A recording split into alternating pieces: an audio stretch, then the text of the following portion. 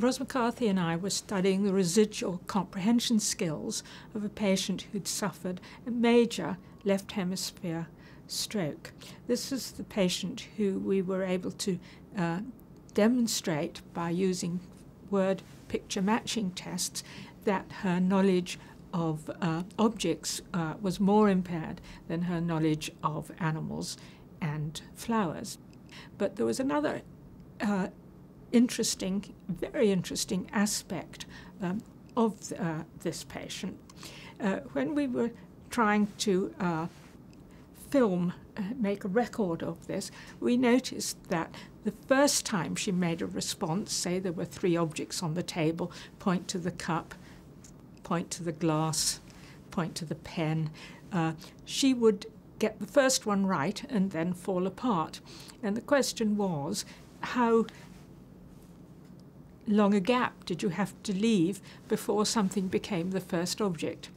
And what we did was we used one of the standard uh, word picture matching tests, and we did it simply did it at two speeds. Um, firstly, we did it at a natural, normal speed. Once she'd uh, picked out a picture, we turned the page and she had to pick out another.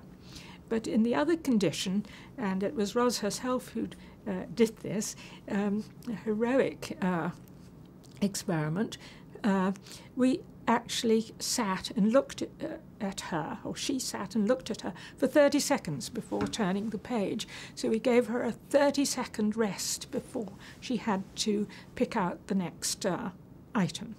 And this, uh, in doing this, it doubled her score. So she was clearly uh, very sensitive to temporal factors. And we uh, describe this in terms of the system being refractory, uh, that um, for a certain period of time, uh, the uh, appropriate response was unavailable. So it was this unavailability of the correct response uh, for a period of time uh, that we thought was a very interesting uh, observation, and we uh, carried on uh, investigating uh, this patient, and we were able to show um, that uh, she was very sensitive to semantic uh, similarity, but she was not the least bit sensitive to phonemic similarity. Um, so we were clearly dealing with a deficit in accessing uh, items at a uh, semantic, meaningful, meaningful level.